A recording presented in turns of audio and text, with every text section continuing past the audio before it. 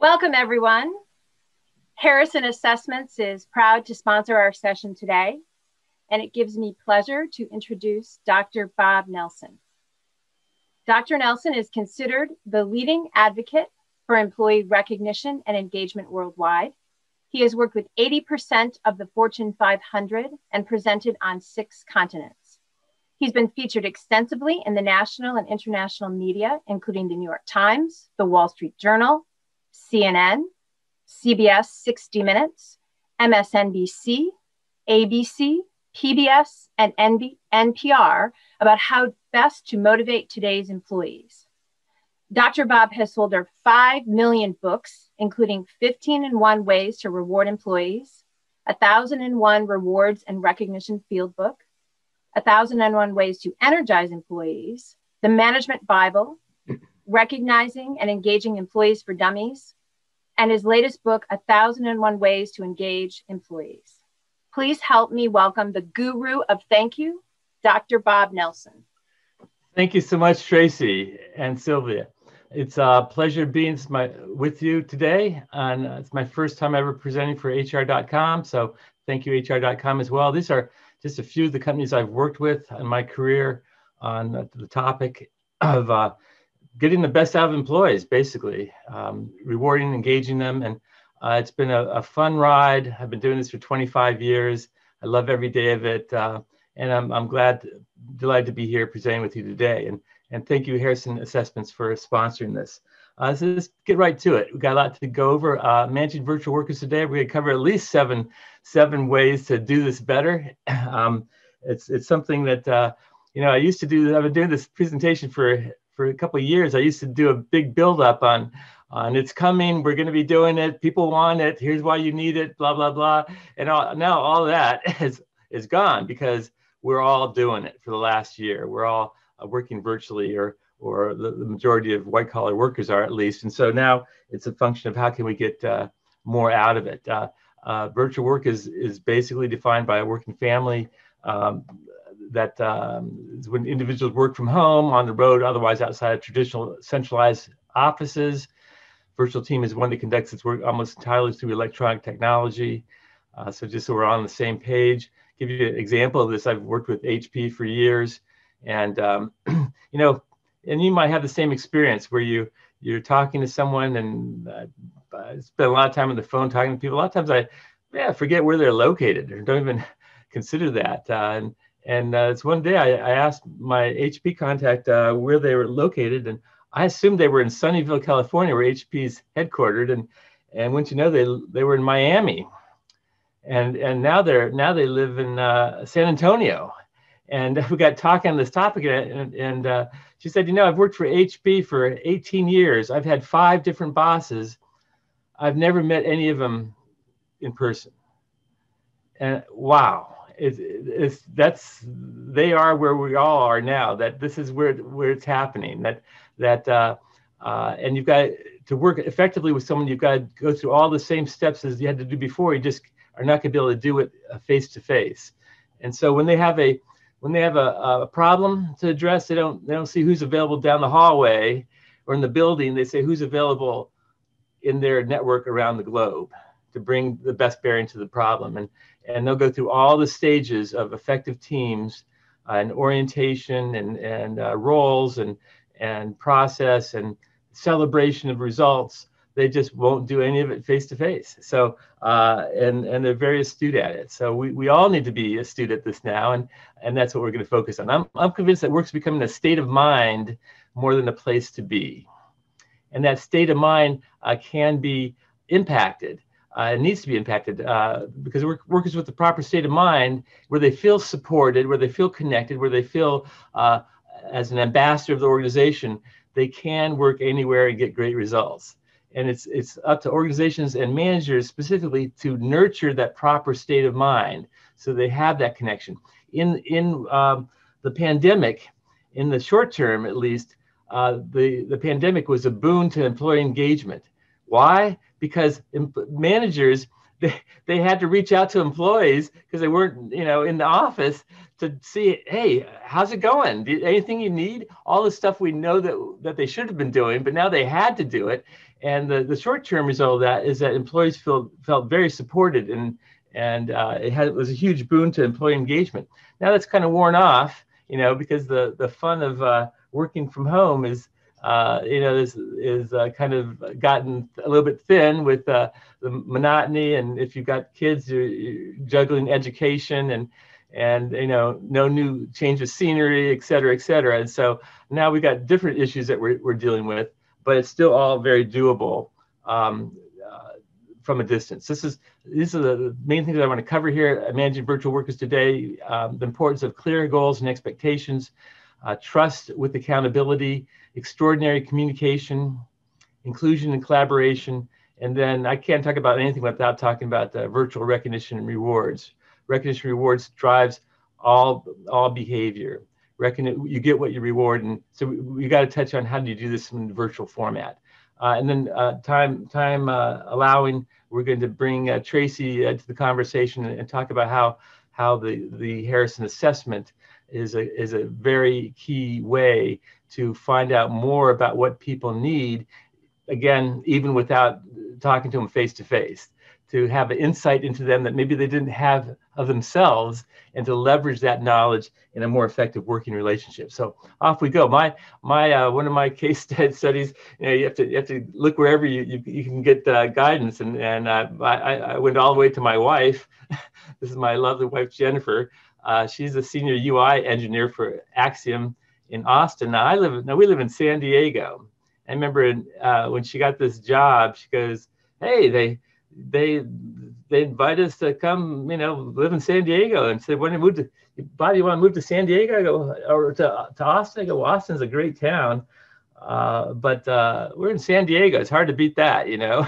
and and so no, no, we're not moving to Austin. So she told them uh, that, and they said no problem we'll just have you work from at a distance. And so she's she's one of 10, 10 members on a, a software development team. Three of them, one of them works in Mexico, one of them I think is in the Philippines, uh, and um, that's just the, the reality. And um, and they make it work very very well. Uh, they uh, she can and she does work from anywhere. In fact, it's kind of interesting because when she this is the first job she had as a virtual employee, and she you know for the last 20 years we always kind of grope with uh, you know vacations and you know we never um, she she has like two weeks i have as much as i want because i got my own business. And uh, we never had time for doing anything because those two weeks be used when kids were sick or or, or had to take her mom to to uh, the doctor or whatnot. So we came to vacation didn't happen. And she took this job and she she immediately said hey you know we can we could go do vacations. I could i could work from wherever. And and we almost immediately for it was like her birthday and uh, she'd always wanted to see the northern lights. So we booked a trip to iceland. And while we were there she didn't miss a meeting with her team.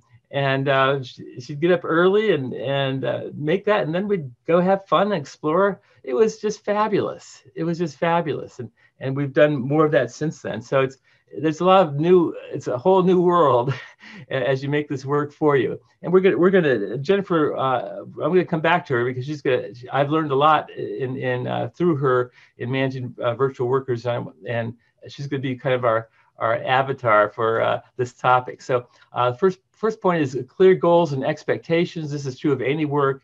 You know you've got to you got to make it clear what you want from people in order to get that. You start with fuzzy goals you get fuzzy results and they probably won't be the ones that you were hoping for so uh, all performance starts with clear goals and expectations and so uh, this is certainly true uh, with virtual workers that that um, we know the best goals are few in number specific and focused you can't focus on everything and so part of the job of a, of a leader is to be streamlining where do we need to all be putting our, our attention uh, the best goals are stretch goals.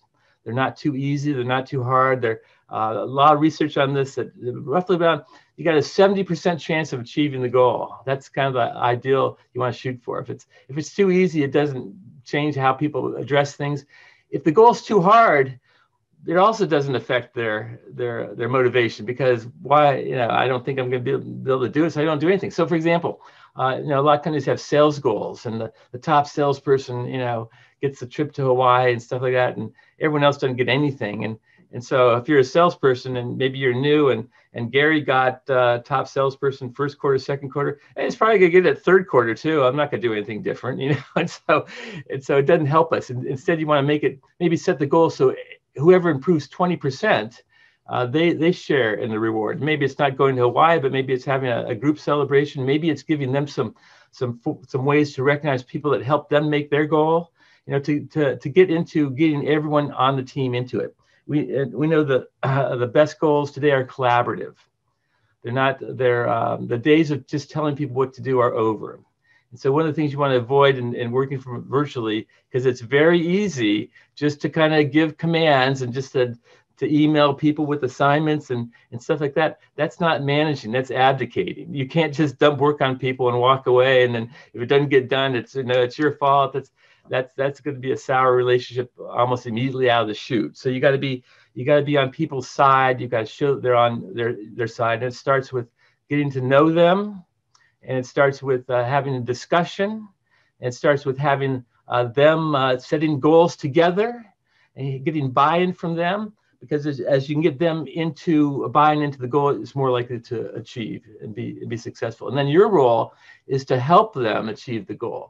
Uh, Peter Drucker, who who uh, I worked with with my on my PhD, uh, defined management as getting work done through others. It's not being a super worker, doing it all on your own. It's not, uh, you know, command and control. That that went out out in the 1940s. It's it's being getting helping people get the job done, being there for them. And the better that you can understand them and who they are and where they're coming from and what they're capable of, and, and treat them as a partner in the discussion of what we're trying to get done together, the more successful you're going to be. Uh, so more more on that later. So how, how do you do that in the virtual environment? Again, our avatar uh, uh, Jennifer, uh, what they do uh, in setting a work structure, rules, and expectations from the get-go is, is they have a master plan for project work. This is very common in software, by the way. Um, they do uh, they divide it into two week two week sprints so two, we, we could have a two week chunk of work we're going to achieve as a group. Uh, they they uh, they're working. There's some guidelines for work conditions. They work around core hours. That means um, that everyone is available from 10 a.m. to 2 p.m. Some people are morning people. Some people are, are afternoon people or e- evening people. But we're all available during this time. And and so um, and then they and then even knowing that it's everyone's job to inform the group when they're not available. They're at a dentist appointment, they've got their, their kids sick, whatever it might be. These are these are the the rules we're going to operate on. And in this company that she's working with, if someone, for example, they have uh, they have a they have a, well let me come back back to that they have a how they how they do this moving forward uh, so trust and accountability is is a key point in in uh, a very key point in, in having successful virtual teams. Um, in uh, the, the, book, The Virtual Manager, which you each are going to get a copy of for being part of this, they uh, the comments made the overwhelming majority of managers have an inherent belief that they can't manage what they can't see. This is what we're fighting. We're fighting those people that are uncomfortable with. We've always uh, done it this way, where you know I, the team's right here. I can look out and see them. I can go talk to Joe or or Sally if there's a problem. And and now, oh man, they're all over the place. I don't know if I can handle this. And and we got to help managers be able to handle it uh, because uh, it's not going away. We're going to double down and and as you get better at this, your ability to expand to attract talent uh, exceeds your ability to uh, achieve results expands. And so uh, again, we, have got to help uh, managers and, and employees, um, you know, make make this uh, relationship work.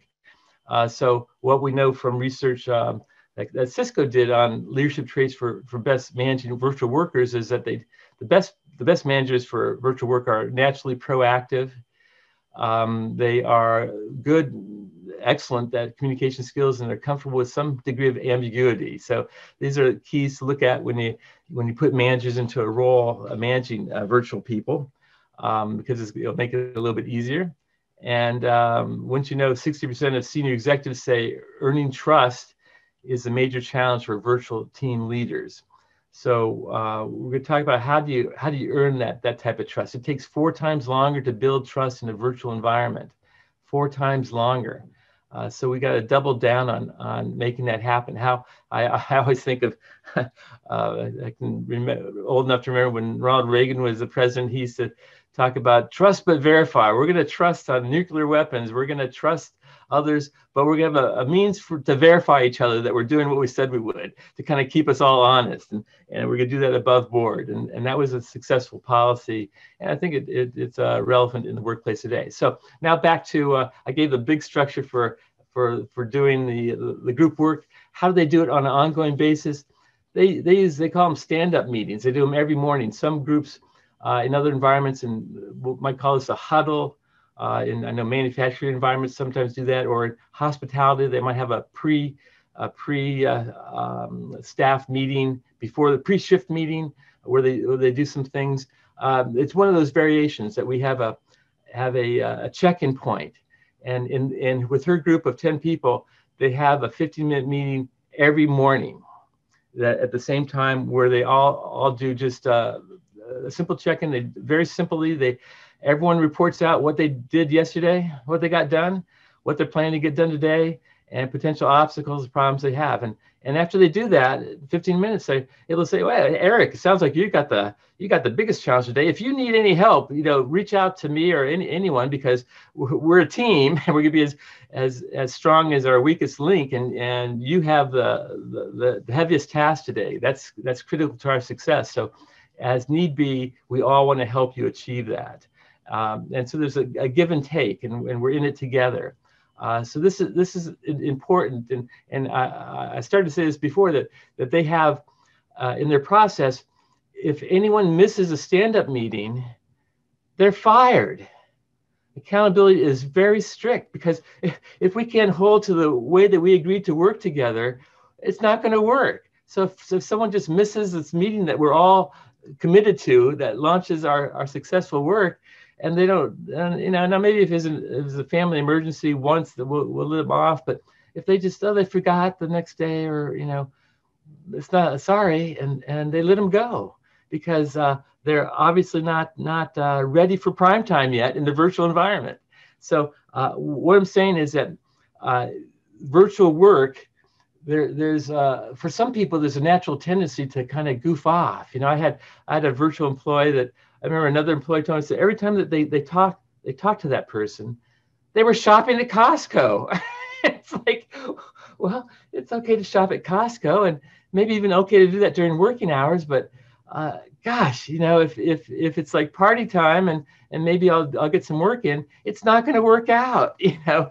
And so you, you got to have strict expectations and you got to hold people strictly accountable uh, in order to to make this uh, work because work working virtually is is uh, is not a right; it's a privilege, and so people have to own up to the privilege to do it, um, and and especially now this has to be even even more strict going because we're all dependent on it. Uh, communication is always important in, in management. It's exceptionally important in virtual because that's all we got to work with is conversations. so uh, you, you got to double down and uh, in, in, research I've done, uh, when, know, I looked at 52 explicit behaviors uh, with employees as to what was most important to them for getting their job done. And darn if the, the top one, 95% of employees reported was uh, good communication, direct, honest um, uh, access to my, my management or other people that I need to get the job done. And, and funny because about the same time, there's another study that was done of executives by Accountemps, and they found that, that executives reported 48% said communication is the top most important thing to, to help and get the job done. And so uh, it's good that they both employees and executives realize it's top on the list, but there's still a gap as you can see here. We've got to we have to align with as important as employees feel it is because they're the ones that, that need access. They need the, their manager to be there when they have a question because they're going to put things on hold until they can get a go ahead on what they're working on, whatever it might be. So you want to have this this this, this communication that is there to the, in the time of need when a person has a question. They have a question. If you take uh, two days to get back to them, you're, you're going to hold them not only hold them up, but you're also send them a message that, eh, your work maybe isn't that important to the team. You know, you're not that important to the team, and, and pretty soon they're going to start feeling that, and they're not going to be as committed as they were when they started working with you. So uh, again, uh, it's all kind of all these variables kind of move together, and and as you treat people with this uh, uh religious commitment to being there for them, uh, they're going to be there for you, and uh, that's a key way. So the virtual workers they, need communication to be more direct, more transparent so you can't manage by innuendo by by snide comments. You, you got to be and and if you ever you know aren't sure about it just do a kind of i call it meta communicate talk about the communication as an issue. So you know i want to i want to give you some feedback. Uh, we haven't uh, worked together that long. I'm not sure how you'll take it so i'm kind of hesitant to give you this feedback that i think would would make you a better employee. And, and you know, nine, 99 out of 100 employers are going to say, no, no, no, I want to feed, I want the feedback because I don't want to be surprised when I'm you fire me in two weeks because I, I didn't do something you expected because you never told me. So no, no, give me the feedback. Well, I think I think in meetings you'd be more you'd be more effective. For example, if you um, uh, took time to, to think about what you wanted to say before you said it you, you seem to kind of blurt everything out in a, in a meeting. It's not even your meeting, and and and uh, I think you're losing credibility by doing that. Oh, I didn't realize that. Yes, that's why I wanted to bring it to your attention. that you, I've, I've worked with a lot of millennials where they need to hear that because they they they felt that they had all the answers and uh, they're going to tell whoever wherever what what we should be doing, what my manager should be doing, what the company should be doing, and um, you know, it's like well, that's not going to go down that well, and, and you're going to lose effectiveness quickly. So uh, pick and choose, pick and choose where you contribute, and, and, and honor the fact that it's someone else's meeting as just one example. That may not be relevant for you, uh, but whatever it is, you got to have a way to give people feedback that they could use to make them better, to make the team more effective. Uh, now back to uh, work structure rules and expectations with, with. Now they, they have uh, they, they set it up, the big term, they have a, a daily process, and then within that, they have constant contact within the work group. Uh, using tools for uh, Slack, et cetera, uh, the manager to team, uh, team to team member, uh, and they do that through technical tools to keep in touch and then they always have the option to have a non-standard meeting. They're already meeting every morning for 15 minutes, but if something comes up, they can pull a couple people together, a non-standard meeting on a, a, chat talk or something, and and they, they all know that and they all use that. And sometimes they, they work with people in that kind of open mic where they can t- just talk just socially while they're working and, and getting stuff done. Uh, and that's good because you need that fluidity in getting the, the job done. What type of tools? Here you go. Uh, there's, there's tools for both methodology and approaching work as well as technical tools for the work itself. So some of these on top, um, uh, Jira is an engineering tool, Agile, uh, Scrum, uh, Kanban. These are these are approaches to work, a process for work, and then the the specific tools for the work itself. We're using one now on Zoom, whether it's this or, or Microsoft Teams or or GoToMeeting or, or WebEx, Google Hangouts. Uh, these are any of these are okay. Um, and, then tools for for connecting, uh, HipChat, uh, Slack. Uh, all, all, these are fair game. Whatever can help you be more effective in connecting with each other, uh, you need to explore and and get and get versed at. Um, this is the key to making virtual work uh, work well is having the, the tools for ready access and and not not just one way access through email or voicemail or or but through two way access. Because uh, if it's just one way and you're dumping work on people and and trying to manage people by email does not work. You know they, they try to read into it and and things are are, are communication is more likely to go south it, the, through a, a limited uh, communication where you don't have visual cues and, and whatnot. 90% of communication is, is tends to be nonverbal um, and a tone of voice. So you got to use a technology that captures some of that. I had I used to have a sales manager. Whenever I'd send him an email, honest to God, he would show it to another employee and say, "What does Bob mean by this?" I found out about that. I don't know uh, a week or months later. I go, tell them to come ask me what I mean by it. I'm not trying to, you know, play games here. I'm trying to, but uh, you know, employees come from all perspectives, and maybe they had a bad manager who who you know got off kilter very easily, so had short fuse, so they're very careful on what they they brought back to to uh, their their manager.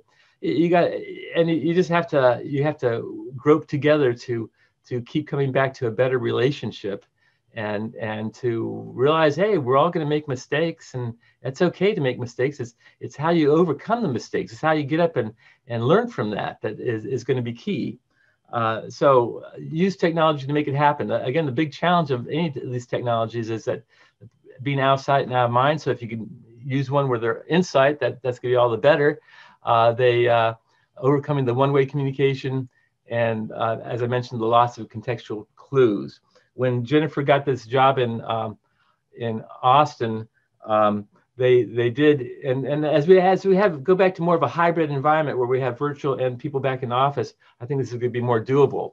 Where they um, she wasn't gonna we're not gonna live in Austin. They got that we're gonna be virtual, but they still invited her there for uh, it was like a week or two to to get to know the company and to get to know the people that were there in case she had a question, and uh, and that's important because all all um, relationships are built on shared experiences.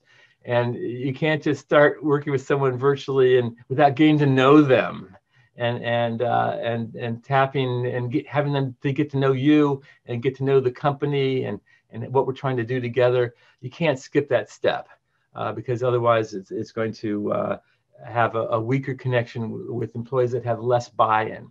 Um, so inclusion and collaboration is is an issue with virtual workers. They have, um, and, and this has been uh, uh, here. I just said this. All relationships are built on shared experiences. So spend more time up front, orienting them, having having the team share information about themselves. Like Hyatt uh, does this uh, with their teams, and they have a they have a me board where people share information about themselves. They, they do a little assessment about themselves and they post and share it with others about you know favorite hobbies what they do on, on their off time. Do they have any pets? What's their favorite food their favorite flower that type of thing. And they they have a, a strategy to help people get to know each other uh, and and to, and to keep coming back to that. Maybe a little bit more upfront or when someone's new but um, again to, to keep the human element in the in the work so it's not just uh, the constant grind. Uh, hold periodic team building activities again with in in the in scrum uh, in the two week sprints. They tend to do that at the end of a two week sprint where we achieved our goals and then they they, they spend time uh, doing something fun. It could be a, a, virtual game. It could be a virtual happy hour. It could be a combination of those. They, they there's a lot a lot of uh, fun things you can do virtually, and so and and fun's part of a uh, part of the the workplace. If you want people, especially the younger generation, to be engaged, you got to make the work fun, and and uh, uh, that that allows me to do a, a, quick plug for my book coming out in March, which is "Work That's Fun Gets Done."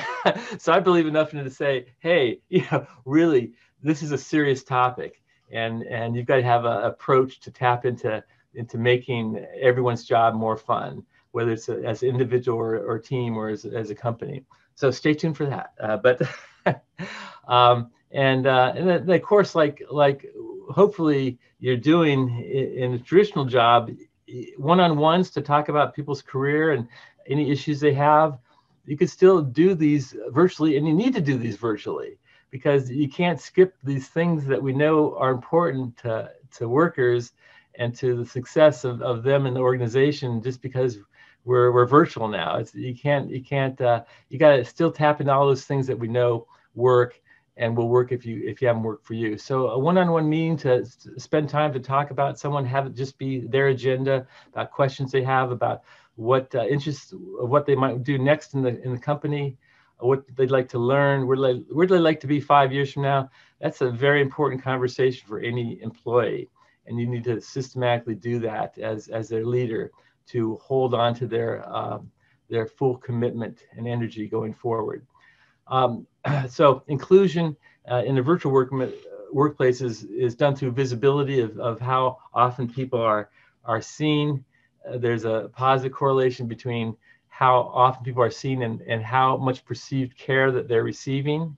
Okay, what this means is like if if an employee has a question and he, as I, you don't get back to them, you know, in a prompt way, then um, I mean, initially they're if it happens once, you know, they're they're kind of surprised by that, but then it happened again and again, and all of a sudden they're to feel like, well, I guess the role I'm doing isn't that important, or I'm not that important to my manager, and then they start acting in that in that uh, value that you instilled in them, and they start acting like their work's not important, and then it's okay if it's a little late or isn't up to their best you know, and and uh, because you didn't indicate that they were important and the work that they're doing is important on an ongoing basis. This is what we need from our leaders. So own up to it if you're if you're not doing that, and it's never too late to fix it.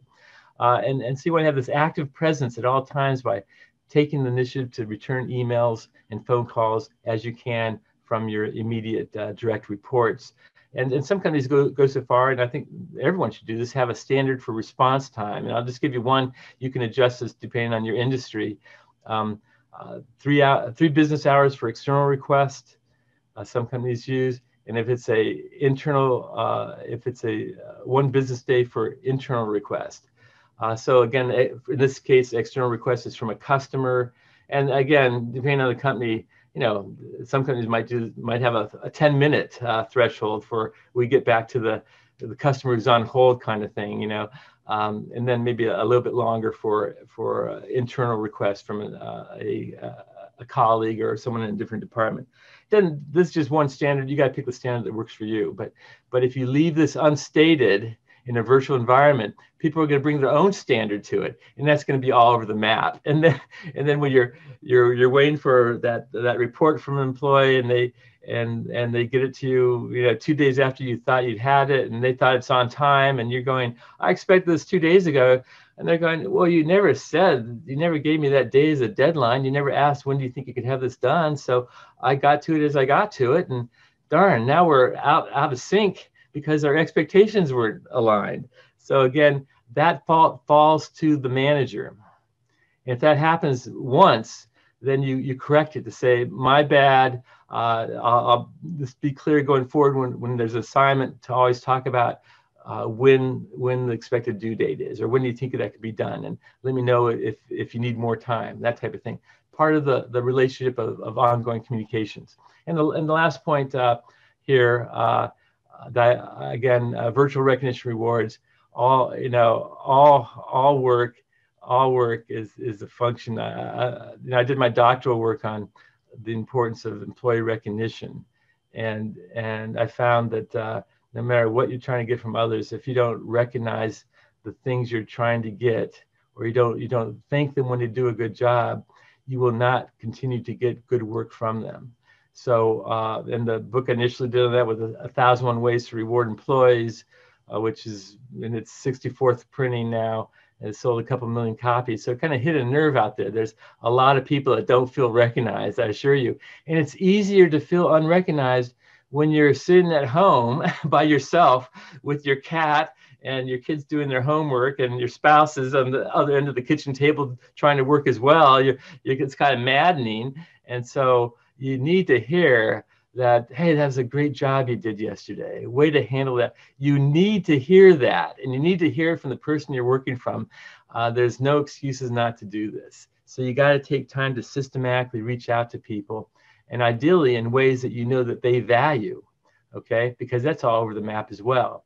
So instead of guessing, if you can get more insight into them and, and what things that they most appreciate, then you can you can uh, thank them in ways that are most meaningful to them and have them uh, you know full force and uh, for you for the next assignment.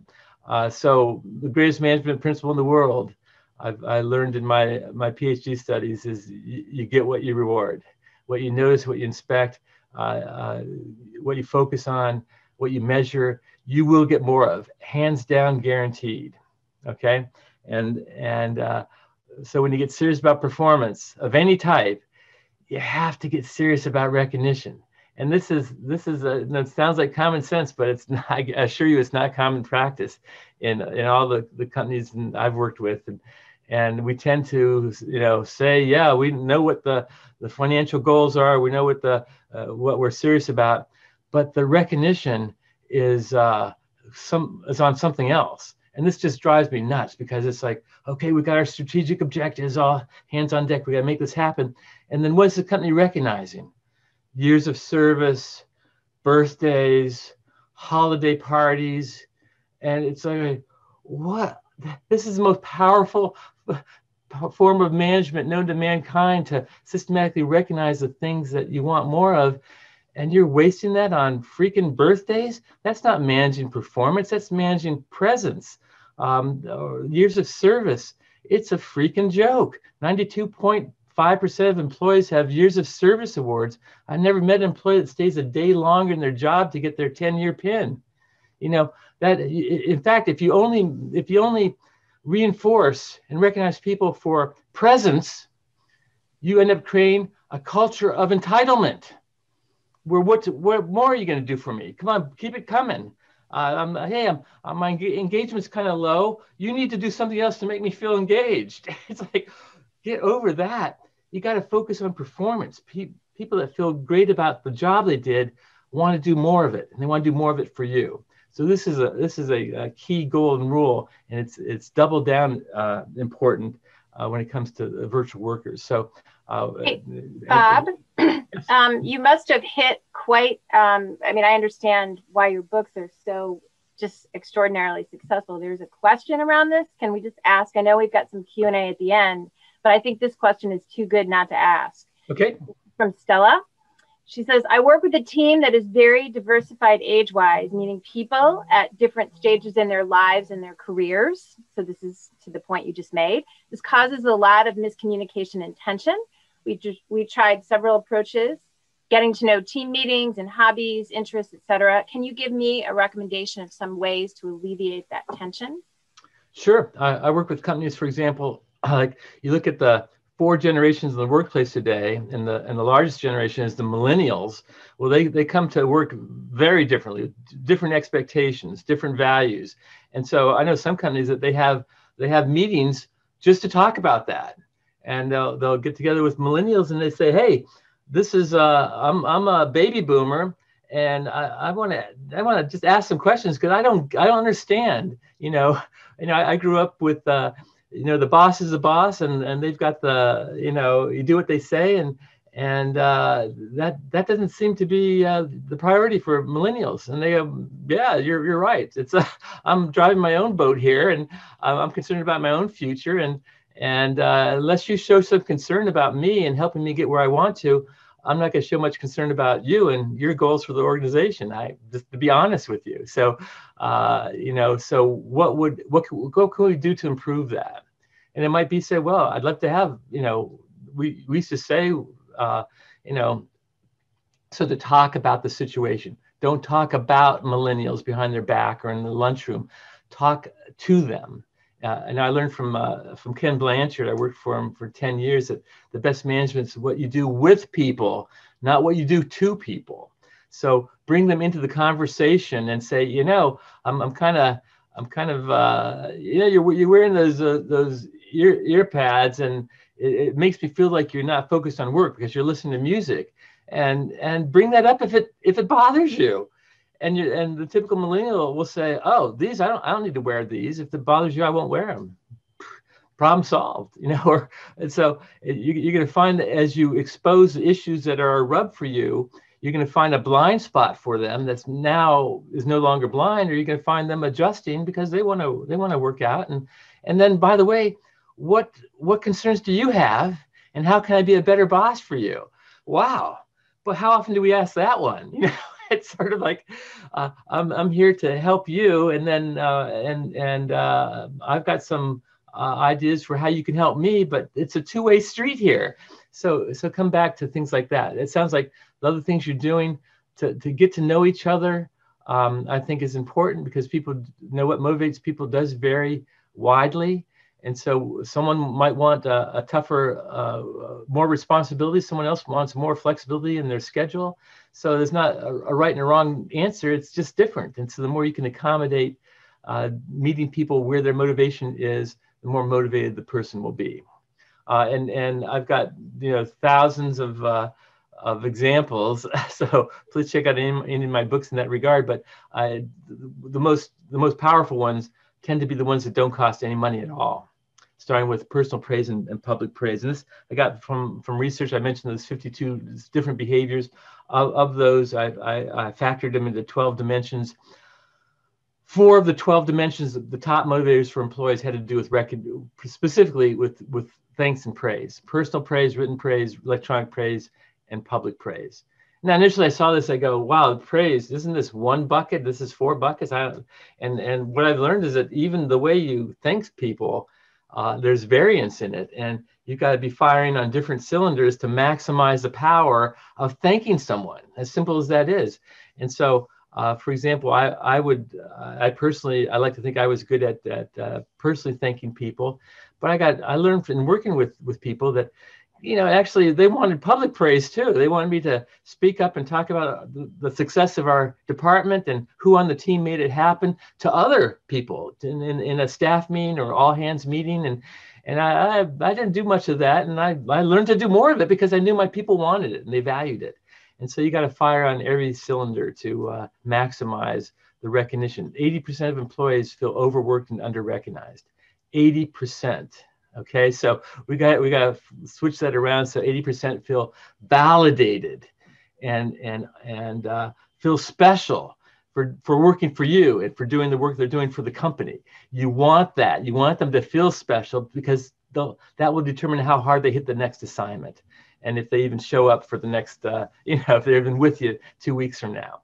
Uh, again, this is just a starting list for for uh, the, the most powerful things are no cost and a lot of people don't want to hear this because the, the, incentive industry is a is a um, you know billion dollar industry and, and gift cards and and trips and all, all whatnot. And I, I, I alienate a lot of them when I say hey you don't have to have a lot of money to to do recognition well. Now now if you do it at this level where it's free you can always add in something that costs money uh, points or gift cards and stuff but that's not where it starts. It starts with the behavior it starts with a personal thank you for a job well done in a timely, specific, meaningful way.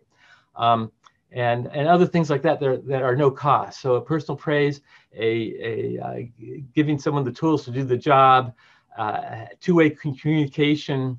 Uh, if they uh, make a mistake, uh, you can you can criticize them for for that mistake, or you can take a step and a breath and say, you know, I wouldn't have done it the same way, but what'd you learn from that? And, and the way you handle mistakes uh, in a positive way where they can grow from it is a very powerful strategy that uh, I know Bill Gates uh, once said I could you could tell a lot about the, the long-term viability of any organization simply by looking at how they handle mistakes. Because if you if you hammer someone and you crush their spirit and they embarrass them in front of their peers yeah you know you, are going to lose what they bring to the next assignment because they hate you now and they're and they're already looking for a new job. So uh, don't let that happen. So uh, last, uh, let me wrap up this point uh, so we can get a little Q and A. Guidelines for virtual recognition are then are uh, taking time to identify uh, what the motivators are. So if you have a, and we all have a, a mixed group and, and different ages and different cultures and uh, mixed of a hybrid. We're, we're going to a hybrid of some people are in the office and some people are virtual. So within all that, find out what, what motivators are for each person is a, is a very specific task that you can and should do. And that could be just asking them. It could be asking them as a team. It could be uh, giving them an assessment where you get more insight into what they value and then using that information you got to do at least what you're doing for the people that are in the office for the people that aren't there because they already feel out of sight out of mind okay? We got we got to make sure that we all feel the same. And and then we're possible with everyone if you can you know going forward uh, you want to make sure you still have some face-to-face recognition in there where we're possible. And and time will tell we'll if that if that's reality. Let me give you a few other ideas. Having call out and even on on a zoom call having uh, call outs and meetings electronic thank you cards. Praise Barrage is a, is a lovely tool. I love this. I learned this from the city of uh, San Diego. A good friend that was on the management team there. They would they would uh, occasionally say, "Hey, time for a praise barrage," and what that means is we're going to go around our team right now, right here, right now. Take 10 minutes, and as I point to somebody, I want everyone to say what they most value about working with John. Let's start with John. Okay, 100% positive. Always there for you when you need him. Uh, creative. Okay, now Mary, a great summarizer, and and whip around the team, and we're done. I tell you what, you call out uh, among a team what people value in in working with each other. Whatever it was you called out, you can get more of. So the person that was good at that is now going to be great at that. You know, and and you can do this in person, and you can do it with index cards, but you can do it in a Zoom call too hey, let's start off with a, a praise barrage. I'm just going to go around the room, 100% positive. We're not going to bring up criticisms, uh, and we're going to catch you if you start to say something negative. 100% positive. What what do you most what do you most value about working with this team? What do you most value about about the the goal that we have? But most important, what do you most value about the the people that we're working with? Uh, having a praise buddy, this is something Hyatt does as well, where they assign uh, one person to specifically be a praise buddy for someone else to look out for catching that person doing things right and to and to bring it to, to bear, kind of like a secret Santa, but around around uh, thanks and praise. Having a applause electronic, and, and, there's a lot of this now going forward. Uh, electronic uh, billboards and and um, uh, software. so check with me if you have any interest in that, because I know everyone that does does these things uh, simultaneous celebrations. I, I have, uh, I know a company that said had, had, had have employees around the world. They said, hey, 4, 4 p.m. on Friday, wherever you are, I want you to stop at your workstation and applaud for this goal that we just reached as a company. You know, all the people working by themselves applauding, you know, it's like, it's just a, goof, but it's kind of fun, you know, and, and again, uh, silly, but fun, but, but meaningful. Uh, and then again, uh, as for a manager, keep a recognition log for your remote employees because they're out of sight, out of mind. And you might, you, you, know, most managers end up they recognize the same people time and time again, whoever they have the most contact with. So in the office, it's the person, it's your your assistant or whatnot, or the person that's sitting, you know, in the same office or, or close by uh, if you're virtual, you're in an outpost. You got to have more intentionality to reach out to them to see how's it going, and to hey, I saw what you did here. That was a great job, and to and to broadcast that to them and to and to others in the organization. Uh, and so that's what I wanted to cover in our, our brief time. I, I wanted to uh, end with this question on uh, again, how can we best engage workers from a distance? And and one of the things that I'm so excited about uh, Harris Harrison Assessments is that uh, they have uh, this powerful tool to give you insight into your workers and to give you and and to you know i said you can ask people questions and you get some some stuff but you can find out stuff about them that they didn't know about themselves and bring that to bear to have to to have a more meaningful work relationship with them and and uh, to bring them along and and with that uh, I, I want to hand it over here to Tracy who's who has expertise with this assessment. Thanks, Bob. Uh, well, what I like to say is that we at Harrison have a unique perspective that is aligned with Bob around uh, work being a state of mind. And typically, if you look at what most companies measure with their engagement, it's the intrinsic, these factors on the right, uh, factors like policy, benefits, etc. They're important, but they don't tell the whole story. The other half of the equation are the intrinsic factors, those key motivations, factors that are important to the individual employee. So when we talk about work as a state of mind and Bob talking about the Harrison assessment, we're able to give you access to that. And to his point, ways you wouldn't have been able to find it without having someone take the assessment. And so if you look at engagement surveys, they're typically collected anonymously for good reason. You want candid feedback and you are reacting typically at the group level. And if you're really trying to impact engagement at the group level, you can have small impact, but where engagement really happens is to Bob's entire presentation here is when you engage with another person by looking at their specific engagement factors and identifying what is important to them and rewarding and motivating them uniquely. And if you all put right. it all together, right, what we have here is the engagement analytics where you can look at each individual and here are the various factors that are important, which is what we measure uh, of what in what would engage an individual. And these are the metrics that you would look at. And so the mistake is to really have a one size fits all approach. What you want to do is look here, if you like to the left, at each of the individuals and see what is important. So what you can see here is that Annie really wants her opinion valued, but she has a low level of fulfillment on that. And our time is ending here. We're getting the note. So if you are interested in the Harrison, we're going to give access for folks to take a look at it, as well as a book, The Virtual Worker. Bob? I've, I've been incredibly impressed with the Harrison assessment. And of course, you, are just, uh, you know, scratching the surface of what's there. But again, uh, unbelievable insight into your workers to help overcome the fact that they're not sitting next to you. You can't take them out to lunch, you know, uh, and you can use that impact and work together. And with and with that, oh boy. So uh, everyone gets a copy of the Virtual Manager. It's by by my friend and colleague uh, Kevin Sheridan. And then of course I want to give you one of my books. Is my latest, A 1001 Ways to Engage Employees. So if you get us uh, um, if you get us your your uh, best mailing address, we'll get those in the mail to you. And I think I think uh, Harrison Assessments is actually going to be uh, to be coming from them. And with that, uh, uh, we, we are out of time. But if you have a, a, question, please email us, and we will get back to you. Um, the nature of these is that we often don't have much time for questions, but uh, we are we're committed to helping you in whatever you need on on this topic. So please take advantage of that. Thank you so much for your time and I hope to see you at, at uh, one of the roundtables coming up. On behalf of HR.com, I'd like to give a very big thank you to Harrison Assessments, Dr. Bob Nelson, and Tracy Wick for sharing this valuable information with us. Also, uh, to extend an invitation to the roundtable at one o'clock, um, where you can continue the conversation.